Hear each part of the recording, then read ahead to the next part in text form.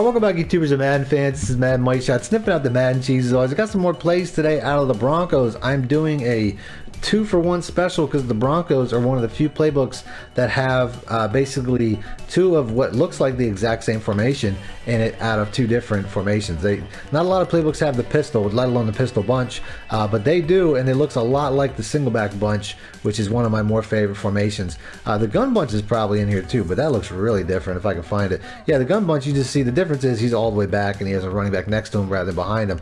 So the reason that this setup works is because you never your opponent's never gonna be able to tell uh, the difference. There's not a lot of uh, you know, there's nothing really giving away um, that these are different formations. So you can kind of mix these in together, which is really nice. Like I said, the Broncos are one of the few playbooks that have that.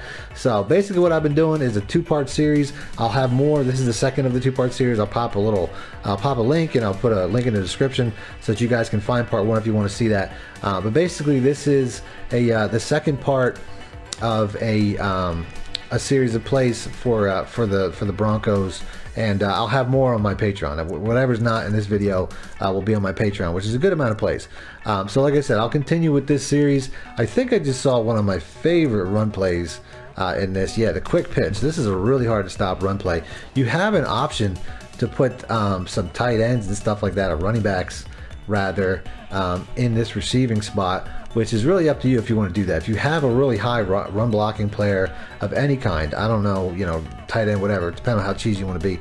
But if you have a good run blocker, I'm not sure if any of these guys are, you're going to want to put them on this edge here because I'm going to be motioning that guy out to get uh, to get an advantage. So let's just go with this guy. I have no idea uh, if he's a good blocker or not, but let's just go with him anyway. So all you really want to do here, I mean, you can run this play just like this, but you don't have outside containment really. It's kind of a weird setup. If it's a man coverage, run just like this, but you typically want to have, if you're running outside, you typically want to have the outside shoulder of this um, of this defender, which is your cornerback, which most zone coverages don't work that way in a tight formation. So, like I said, you can run like this.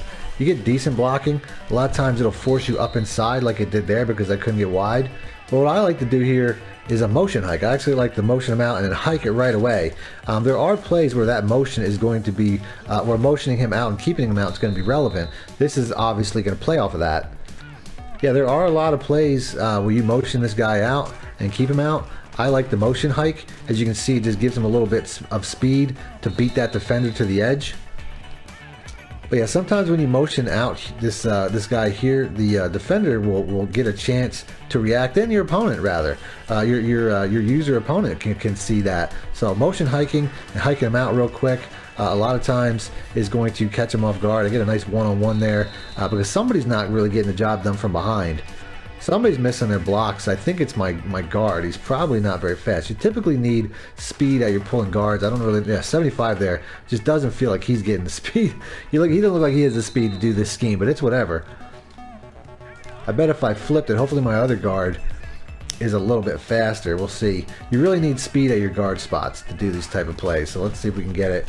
Uh, yeah, 72, they did a much better job. Not the best run, but he still got out there. That's their number one pick, Bolles. Clinton Bolles. So we'll go ahead and we'll flip the play a couple times just to see if we can get a little bit of a speed advantage there. Like 72, he's definitely getting out there. The run overall is not doing uh, the best to the other side, but he's still doing a good job. But yeah, there's two types of guards in, in the game, and you just have to make sure you're uh, you're using the right type. You need a mobile, athletic uh, guard whenever you're running a pulling or a trapping system, um, and that'll give you better results. Uh, where this here is you know, I actually switched the guards out now just so I can get a little bit of a better little bit of a better lead blocker there. You can see here, he got out front a lot better, turns the play inside like he should. He's actually a former Eagle, Allen Barbre, is one of the faster guys. But yeah, typically, like I said, look at him, 75. He's getting out there. Um, he's doing a better job, as you can see. He actually sealed the back end a little bit and uh, helped me get free. So there's really a couple different adjustments you can make to make this play better. I mean, I didn't really mention having a speed back is a good thing uh, whenever you're running outside. Also, make sure the guard that's pulling uh, in the diagram here, actually it's a tackle, uh, but make sure that he's, I've been calling it the guard the whole time, but he's he's got to be mobile and you can always put a, uh, a tight end, a good blocker on the outside. Another really good run play is the counter Y. We'll go ahead and we'll pick that.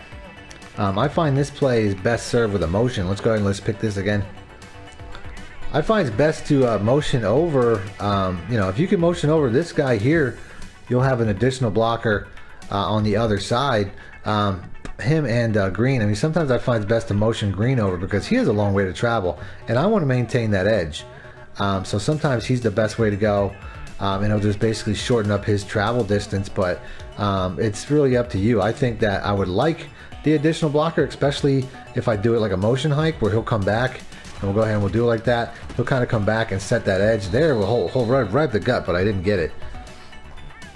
But we'll go ahead and we'll run a couple times like that. Um, sometimes, I mean, I'm trying to get the edge, and you can see how motioning this guy over. Sometimes he'll set the edge, like he did there, and help me get outside, and sometimes he'll get downfield and try to get the safety. But motion hiking is a really big advantage this year. There you can see how the uh, the guy actually dropped back to uh, to respect that there was a receiver on his side. Sometimes you'll get that effect if it's a zone and that linebacker on that side's in the zone. Um, he'll actually uh, drop back and there we can see, oh man, you didn't get that block, man. 75, oh no, that would have been, man, 75, you got to seal that, bro. But yeah, I mean, I'm really aiming for that defensive end. And like I said, if he if he seals it, if that guy's his way, or like right there, he actually just passed him on. Uh, still a pretty decent run, um, but I'd rather him get that. I wish I could like target him to that defensive end and seal that edge, but it's not something that's in the game. Um, here, you know, there, there, all the blocking gets set up, and then my dude, oh man, somebody's this team can't block for nothing. Yeah, these Broncos aren't really known for their offensive line, uh, but you can see how if you have some competency, how this can be a really effective play. And just there, that extra blocker is just that was huge because it held up 27 from getting me there.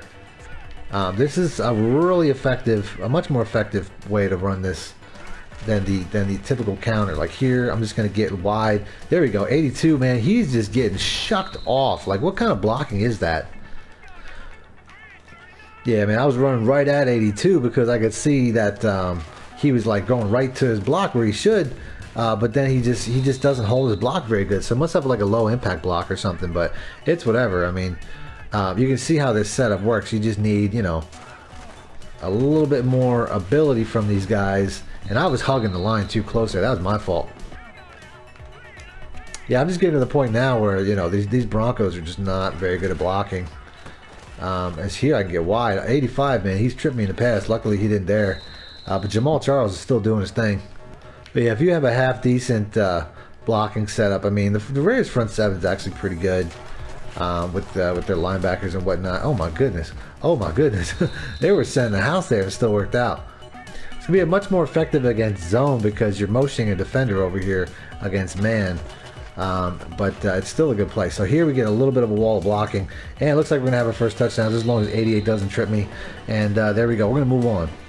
Now, yeah, some really good plays um, that really are activated uh, by the motion.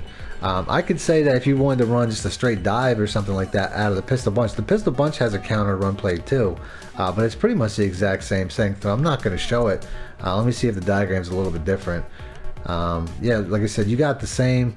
Actually, it looks like you got two pulling guys there. Where I'm not sure if you have the same two pulling guys here. Yeah, you do. It's the same.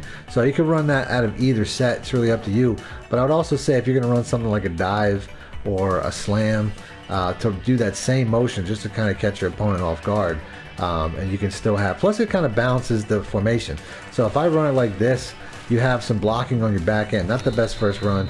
it, it is what it is. I'm not going to run this too many times. But um, if you're if, if you even out your set, a lot of times this defender uh, can come off of the edge um, and really, you know, catch you from behind before you even get to the line of scrimmage in a dive. Uh, where this motion, you see here, because it's a zone, it actually moves him off the line and make it harder for him to react. Um, and even if it's not a zone, even if you motion hike it uh, like the previous play, you'll see how um, he'll get that block. Um, you know, like I said, they're still not blocking very good, but it's going to be helpful even in dives and stuff like that too. Now, another scenario where you can use that motion to trick your opponent is the halfback slip screen. We'll go ahead and we'll pick that and we'll go random nickel. This is a play here where I don't really think um, that too many of these options uh, are you're not gonna be able to throw too much to these these these this bunch of receivers um, in this scenario because typically the, the the way that this is set up you're gonna be on your ass before they really get open unless the circle route if, if there's nothing underneath a lot of times you can throw to the circle route really quick uh, which I did there gets a couple of yards But if if you think it's like a cover two or like a hard flat or something, this circle route's not always going to be the man. But you can see he is consistent. You can lead outside, throw to him quick, and that's one good way to run the play. Another good way to run the play is uh, motioning over and doing the exact same thing. Make him think the play's going over there so that the user goes over there and then you can hit him to the other side with the screen. I didn't really follow my blockers too good, but you get the idea. Um, but this is a vertical, you know, you're, you're, what you're looking at here is a vertical uh, concept, um, which is a play I'll actually go over here in a minute. But um, that's really, um, you know, uh, the vertical play is typically run kind of like this, where I'll do this and then I'll put him on a slant. And I'll go over that in a minute. Um, but this is the same look. So if you run that vertical play, which I'll, I'll show you, like I said, in a minute, um, this could be very confusing for your opponent because uh, they'll see the cluster of receivers. Look at them just hopping these horrible blockers. They'll see the cluster of receivers going out in the normal vertical pattern, and then you can hit them with a screen.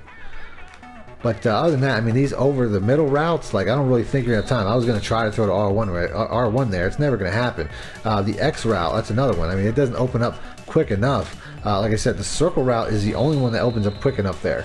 That's going to be it for part two. I don't know if there's going to be a part three, but um, you know, hit the like button if, if, if I get enough likes. Uh, I do this. There's definitely several more plays that are going to be on my Patreon. So if that's what you guys want to see, um, I can do that. The plays that I'm probably going to show are like more of the pro-oriented plays out of the bunch and out of the uh, the pistol because it has a lot of like real pro favorite type plays. Um, so like I said, hit the like button if you want to see that, and I'll do that next. Other than that, thanks for watching, man. Moist it out. Need more help or just want to show your support? Then head over to my Patreon and join my team, where you can get exclusive content like ebooks and bonus plays, as well as early access to my vids and more. Link in the description below.